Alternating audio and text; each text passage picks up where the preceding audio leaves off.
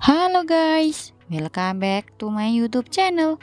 Video kali ini kita akan melihat ulasan sinetron Magic 5 episode 70 yang tayang malam hari ini 29 Mei 2023.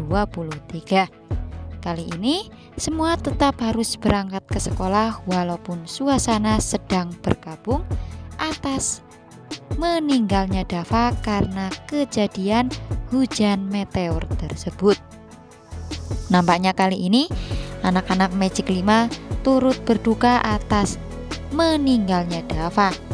Namun nampaknya kali ini yang benar-benar sedih tidaklah lain adalah Jenny yang ditinggalkan orang yang paling disayanginya. Dan terlihat nampaknya Jenny masih murung namun harus tetap bersekolah apa pun keadaan saat ini. Namun seperti biasa Jenny tetap Jenny yang selalu egois. Nampaknya anak-anak Magic 5 berusaha untuk memberikan masukan dan juga menenangkan Jenny atas kehilangan Dava namun seperti biasa pula, Jenny dan juga anak-anak The Beast selalu bersikap egois.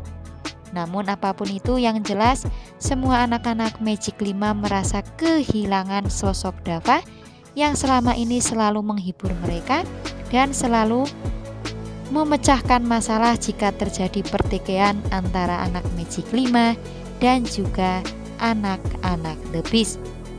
Dan mereka tak menyangka secepat itu Dava meninggalkan mereka semua.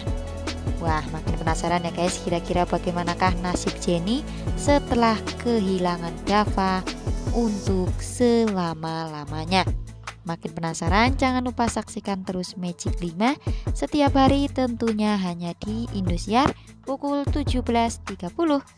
Terima kasih dan sampai jumpa.